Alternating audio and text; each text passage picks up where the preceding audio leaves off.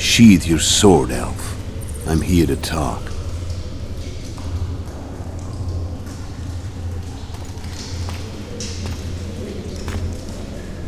Bow low.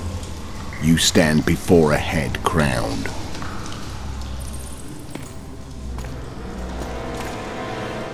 That of Demavend, King of Aedirn by the grace of the gods, sovereign of the Pontar Valley, and so on. And you are? A friend to non-humans. I have an offer. Speak quickly and to the point. The Arrakis will soon return, and I'd rather know all before then. I can add several more heads to this one.